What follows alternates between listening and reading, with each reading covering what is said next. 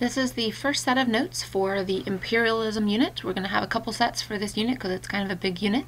Remember you can pause and stop the video at any point in time. You can rewind if you miss something and make sure that you have the notes downloaded from Blackboard or you've gotten them from class if you are absent. Alright, so think back to the age of exploration. What was happening? We had Europeans traveling across the Atlantic Ocean, okay, discovering the Western Hemisphere, North America, and South America, and starting to colonize it. So the English start setting up colonies in North America, and the Spanish start settling up settling colonies in South America. And so once they've kind of established this other side of the hemisphere, we start to look for look at Africa and Asia as places to colonize. And so this is going to be imperialism. It's a new form of, if, if colonization was an old imperialism, the colonization of Africa and Asia is going to be the new form of imperialism. So a quick review. Um, nationalism is pride um, in one's country based on a common history and culture, or pride in your group of common history and culture. Um, a nation does not always have a government. Um, sometimes they do, and then it's a nation state. And then with industrialization, we had urbanization or the growth of factories. Um, especially as more factories were built, we had to form towns around these factories in order to have places for our workers to live. And we also saw an increase in, in production. Now, if we get an increase in production, it means that we need more raw materials. So both of these things from our review are going to help cause imperialism. So it's going to help with nationalism motivating nations to compete for colonies. Um, nationalism is kind of the my country is better than your country feeling, and so you want your country to be the best and have the biggest empire, so you're going to compete. And then they want raw materials and natural resources. So there's only a, a finite amount of natural resources in Europe, um, and some of the things they can't get. They can't grow cotton in Europe, and so once the American colonies split away, they need to find new places to grow cotton. And so then they're going to turn to Egypt and India. Um, likewise, they need more coal, so they're going to turn to like South Africa and Australia. Um, they're going to start looking for gold and diamonds and all that kind of stuff. So imperialism is the competition for colonies to increase the size of your empire. That is our basic definition. Um, and how they do this is they're going to use their economic, military, and political power to force um, the colonized countries or colonies to trade on European terms. So they're making sure that because they're stronger and Africa is weaker, the Africans don't have a choice but to pay higher prices than what the Europeans would pay. Things like that. And then we're also going to see European manufactured goods flood the colonial markets, and this is going to replace all of those traditional and native economies. So the natives in Africa used to, you know, subsistence farm, which means you farm just enough for your family and to sell a little bit to make a little money, or barter in an economy system and um, it's going to be replaced with you're now building growing enough crops to make for these European factories and you buy you manufactured goods from Europe. So for example, the Africans are no longer making baskets themselves. They're selling the reeds or whatever you're using to Europe and then having to buy a basket that was made in Europe. That's I think the easiest example to understand. So we're going from the one grandma who is um, spinning thread by herself to the factory where we have lots of machines to spin thread for us.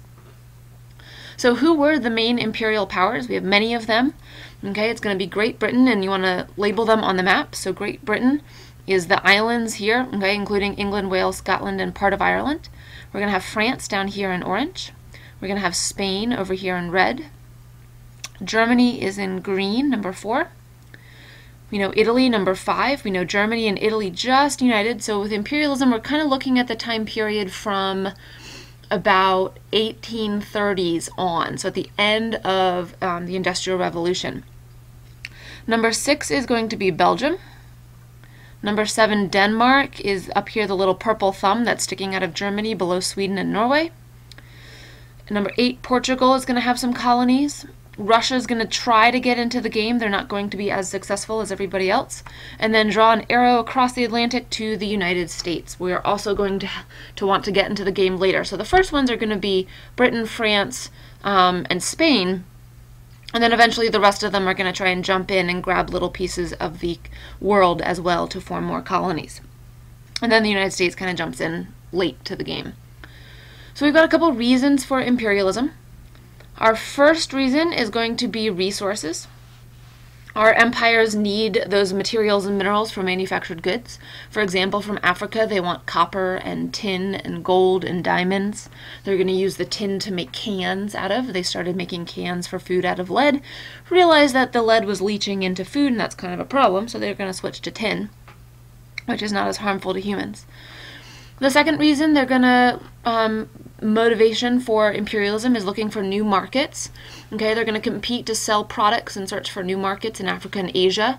You know, if China has so many people, then hey, we can sell a lot of products to those people. And then the Africans, because we're more powerful than them, we can sell a lot of our products to them. They also want to um, turn around and sell the diamonds and the golds that they find um, and all of those finished products. Our third reason is nationalism, that idea of we are better than you are. Um, armies are acquiring territory in Asia and Africa in order to grow the size of their empire and prove that they're the strongest. So we're going to have a lot of European do domination around the world. And then lastly, and kind of sometimes most importantly, although resources economically is kind of very important, um, but we have some social reasons as well, and this is what we call the civilizing mission. They want to spread religion, customs, and beliefs of the Europeans to the rest of the world. Um, so it's kind of this civilizing mission, as you can see the priest providing Christianity down here in the corner to our natives. Um, and they're going to use a couple things to do this. The first is social Darwinism um, where you know they look at skull shapes and they think that um, the social order is determined by the laws of natural selection, just like Darwin talked about how animals are um, formed by the laws of natural selection. And so, because the if you look at the Greek skull is a very different shape than the Creole Negro, which means that um, their the Creole Negro skull is much closer to a young chimpanzee, which means that these white Greek Europeans coming out of the Roman and the Greek empires are so much more um, higher in the law of social order. So therefore, they must be superior. So it's a very racist idea that they had, proving why the whites are better than the um, black Africans or the Asians. Um, they're also going to use the idea of the white man's burden. This is going to come about with the idea of responsibility of white Europeans to care for and civilize the natives of their colonies. So we're tr they're trying to make sure that the colonists improve themselves and become better. Um, but it's not necessarily this idea that you're going to become as better as us. You can never do that because of your skin color idea, racist idea coming in there. But we're going to make you better than you are now. So we're going to provide you with education. We're going to convert you to Christianity. Um, and they're doing all of this through the idea of paternalism, where they rule the natives as if they're children. So because the natives are not as good as the Europeans, they're going to treat them like children and, oh, you don't know how to do this yet. It's okay. We'll teach you how to do this, that kind of thing. So it was a, it was a very racist idea of promoting how to um, civilize the natives and make them better. And so, but this was a big idea that um, we have to understand as part of a motivation for colonization of Africa and Asia we kind of saw this with our gold, glory, and God. This would be the God part of that from our first imperialism, whereas things like glory would be nationalism, and then our resources and our markets would be um, gold. So we also have some different forms of imperialism that we need to know. Um, a colony is a direct rule by an imperial power where they are bringing in their own um, government to in this new colony. So England rules India and takes away the Indian government um, and replaces it with English officials who take a boat over. We also have what's called a protectorate, where the countries keep their government but are influenced and protected by an imperial power. Um, within a colony, we can have direct rule or we can have indirect rule. We'll look at that in class a little bit. But a protectorate, um, the it's not a colony. We haven't taken them over. So, for example, Spain protects Cuba, but they don't own Cuba, and Cuba still has their own government um, until the Spain are kicked out by the Americans, and the Americans form a protectorate of Cuba.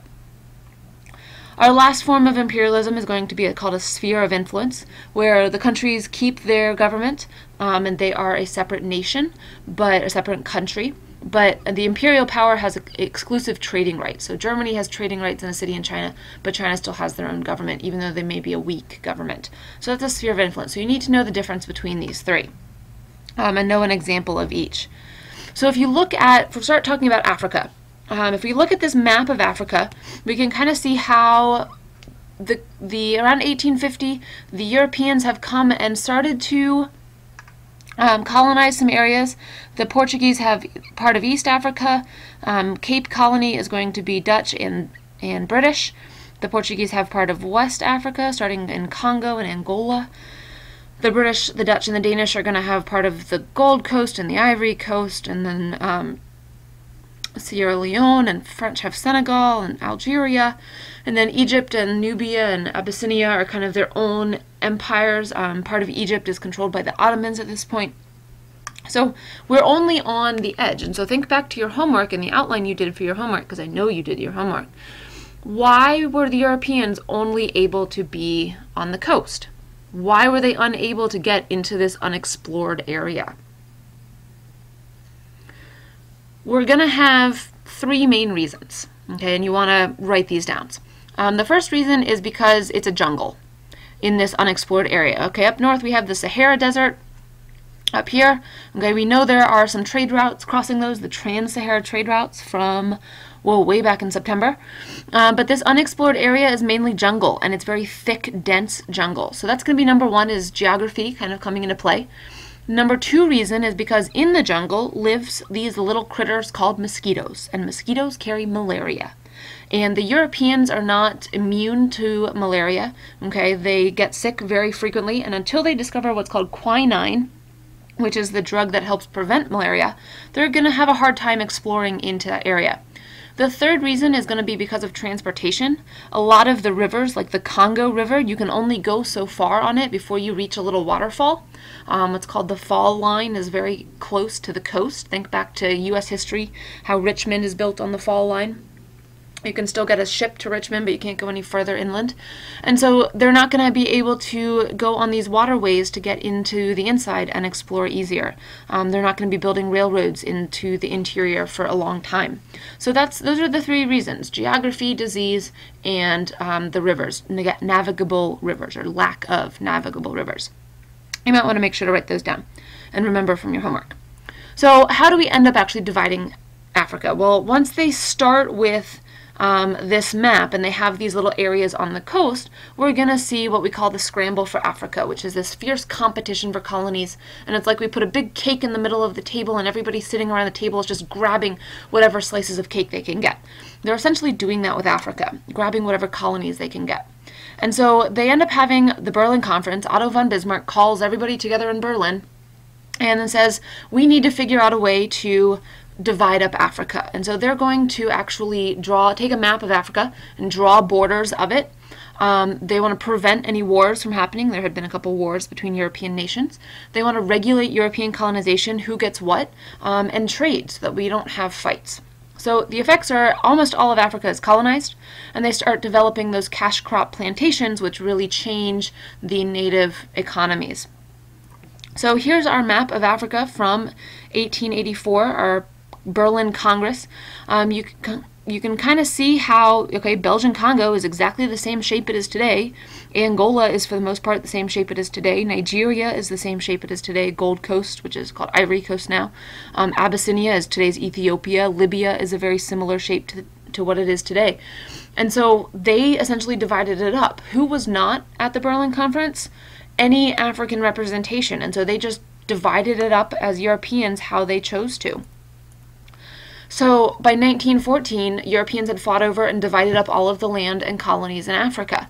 Um, for example, the Boer War, the Dutch and the English fought over South Africa and split it up. Eventually, the Dutch are not as strong and the English kick them out. And so, one other thing that you can think about is um, this map on the left here is the tribal boundaries in Africa. And the map on the right is how the Europeans set it up. And so, what's fair? What's not fair? How do they how do they divide it up? And how does this cause problems today in Africa? So we're going to be talking about that a bit in class.